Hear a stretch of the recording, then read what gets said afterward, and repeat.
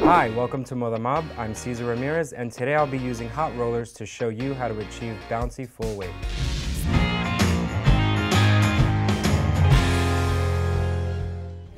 Hi, I'm here with Ani, and I'm going to show you guys today how to use hot rollers to get a full bouncy wave.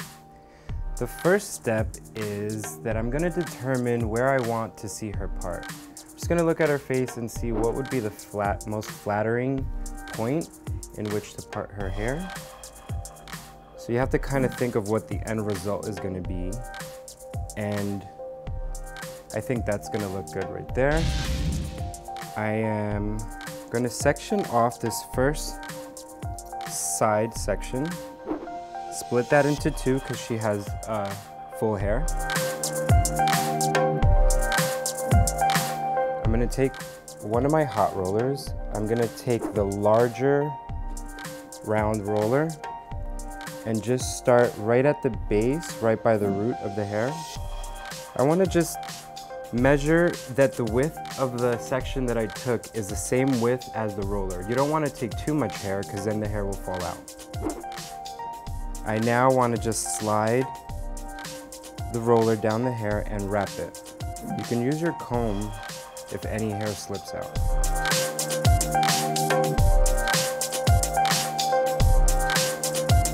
Now that it feels nice and tight and secure in there, I'm going to take the clip and just clip that into place.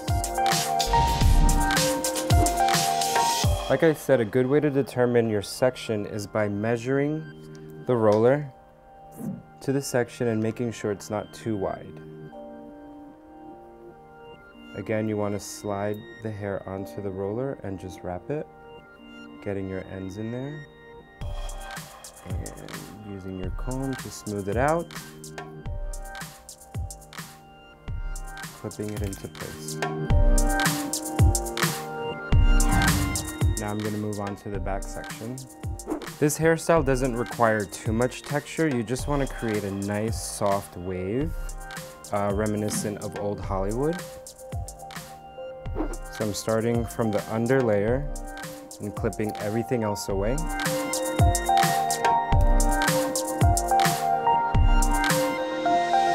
Taking a pretty nice size section underneath because I'm going to use one of the bigger rollers.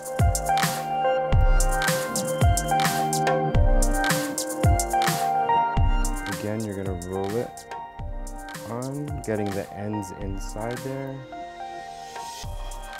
and clipping it into place. You're going to do this all the way through the head till you get to the top section.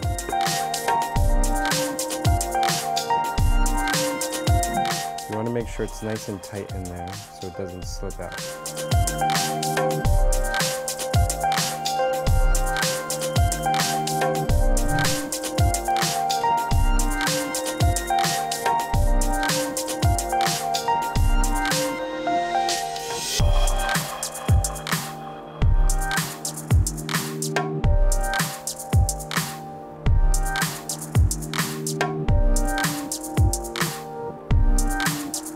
Something you want to remember is to make sure every roller is rolled in the same direction. This is going to give you a uniform wave, so when you brush it out in the end, it's all going in the same direction.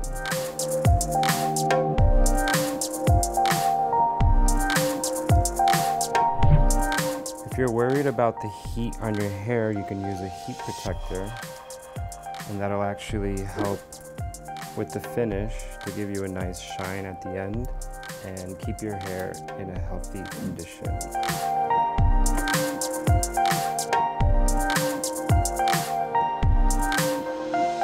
This is also a very good alternative to using hot irons because the rollers don't get as hot and don't damage the hair. So when you're picking out hot rollers, you want to make sure that the hot roller has a felt inner lining. This is what's going to protect your hair from the heat and it's going to actually produce shine in the finish. I'm now approaching the top section of Ani's hair. Once I get this last back roller in.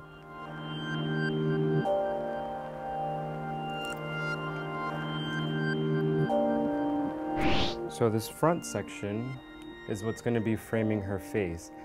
In this section, I'm actually gonna roll everything forward as opposed to going back.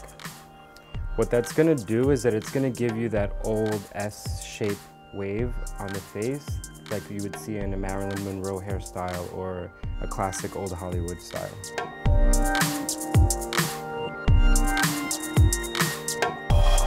In the very front, I'm gonna use a smaller roller just to give it me a little bit more texture and not so loose.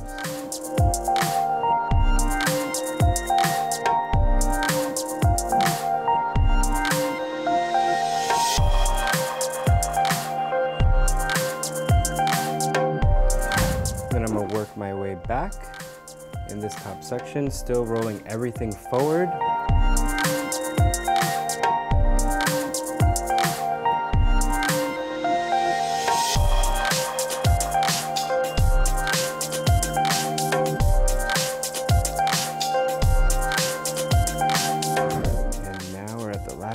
Section.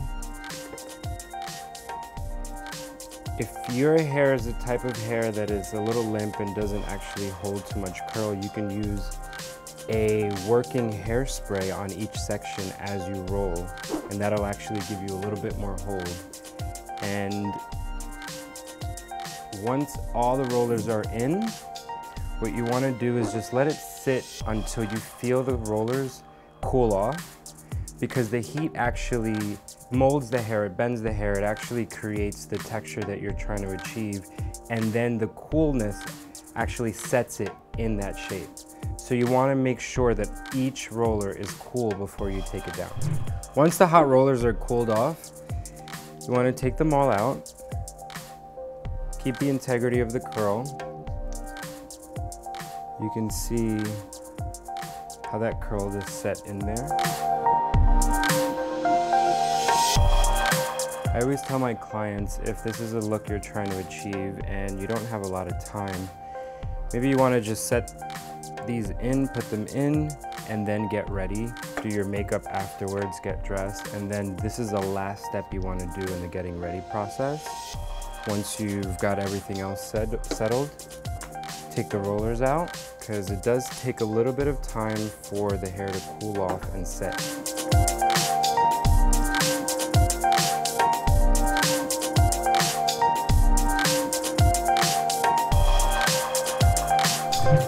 Once all your rollers are out, you want to just take your flat paddle brush and start brushing very lightly.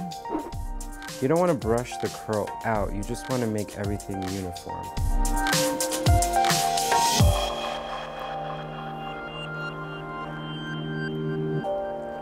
Brush from underneath. Brush from the top layer, just to bring all those curls together.